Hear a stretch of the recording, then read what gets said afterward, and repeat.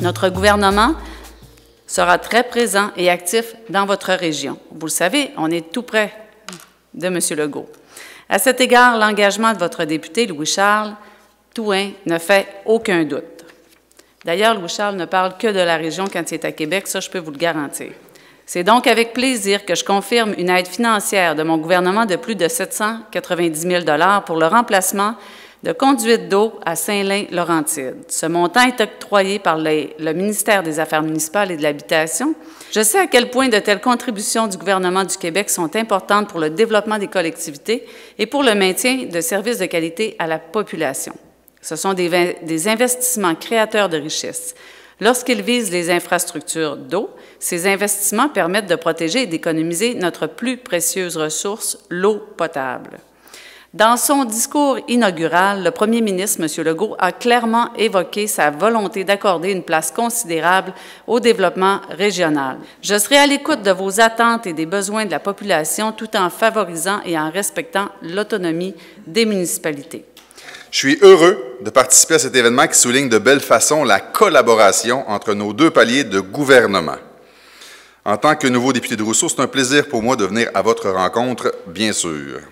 Quoi de mieux que rentrer à la maison à l'occasion? L'annonce d'aujourd'hui est une excellente nouvelle pour la ville de Saint-Laurentide. Je suis fier que notre gouvernement passe à l'action et pose des gestes concrets pour l'avenir de nos municipalités et de nos régions. En plus d'assurer la pérennité des services aux citoyens et de contribuer au maintien de la santé publique, le remplacement des conduites d'eau permet de préserver l'eau potable en remédiant aux problèmes de fuite provenant d'infrastructures désuètes. Réduire les pertes d'eau c'est aussi investir dans la protection de l'environnement. À Action locale, donc en tant qu'adjoint parlementaire de la ministre Laforêt, la meilleure ministre qu'on a au Québec actuellement, pour le volet des affaires municipales, je travaillerai avec les partenaires municipaux. Évidemment, nous voulons bâtir une relation de confiance pour faire avancer les choses. Nous avons la volonté d'être à l'écoute, de répondre aux besoins des citoyens et des citoyennes et d'améliorer leur qualité de vie. Évidemment, je suis enchanté par cette annonce qui nous permettra de procéder dès cet été à la réfection des infrastructures d'aqueduc et d'égouts de ces deux rues qui sont situées au cœur du centre-ville, soit Brien-Sud et une partie de Archambault. Je rappelle que des travaux euh, de même nature ont été effectués au cours de l'été et de l'automne 2018 sur la partie nord de la rue Brien grâce à une subvention de la TEC de plus de 3 millions de dollars. Il s'agit donc pour cette rue de compléter les travaux.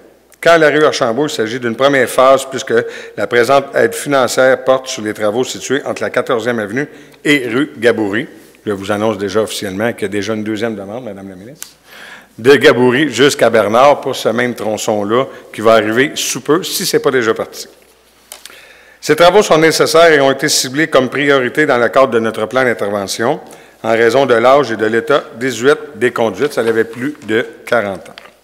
En fait, la subvention du PIQM permet de combiner la réfection des installations sanitaires et pluviales. Sans cet apport, les travaux n'auraient pas pu être effectués dans un si court temps. Je tiens donc à remercier sincèrement le gouvernement du Québec et la ministre Mme Laforêt au nom du Conseil municipal et des citoyens et citoyennes de Saint-Lin et des rues et Archambault, effectivement. Pour ces citoyens, les améliorations seront notables puisqu'en plus de changer les conduites, ce qui est rassurant pour les résidents, les travaux entraîneront la réfection de la chaussée et la pose de bordure. Ces améliorations sont attendues et seront grandement appréciées puisqu'elles auront un impact tant esthétique qu'en ce qui a trait à la sécurité. Ces rues sont à fort début de passage piétonnier, notamment la rue Archambault, dont la voie cyclable et piétonnaire est empruntée quotidiennement par les élèves des écoles des trois temps. Donc, c'est un secteur beaucoup, beaucoup familial.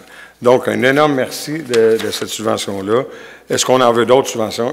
Évidemment. On en a un autre qui s'en va, qui est déjà chez vous euh, pour notre future caserne de pompiers. Donc, euh, nécessairement, probablement qu'on devrait avoir d'autres annonces à vous faire dans le courant de l'année 2019.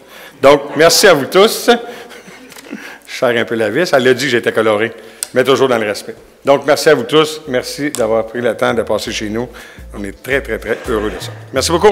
Bonne fin de journée.